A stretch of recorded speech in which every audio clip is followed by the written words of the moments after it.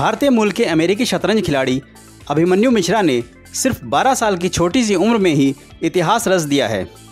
New Jersey में रहने वाले अभिमन्यु ने 12 साल 4 माह और 25 दिन की उम्र में ये कारनामा किया है। अब वो दुनिया के सबसे कम उम्र के ग्रैंड मास्टर बन गए हैं। अभिमन्यु ने बुडापेस्ट में आयोजित ग्रैंड मास्टर टूर्नामेंट में बुधवार को भारतीय ग्रैंड मास्टर लियोन मैंडोंका को हराकर ये उपलब्धि हासिल की। इस तरह से अभिमन्यु ने 19 साल पुराना रिकॉर्ड तोड़कर अपना नाम इतिहास में दर्ज कराया। इससे पहले शतरंज के इतिहास में युवा ग्रैंड मास्टर बनने का रिकॉर्ड रूस के सरगई करजाकिन के नाम पर दर्ज था। करजाकिन ने वर्ष 2002 में 12 साल 7 माह की उम्र में ये कारनामा किया था।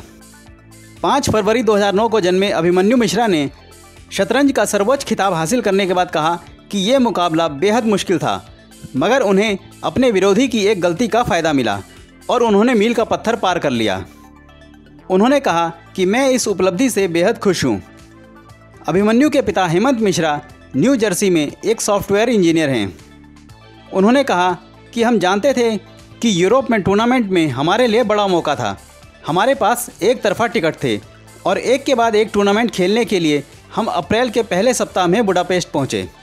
यहाँ आकर हमारा ऐसा सपना साकार हुआ जिसे मैंने मेरी पत्नी स्वाति और अभिमन्यु ने साझा किया।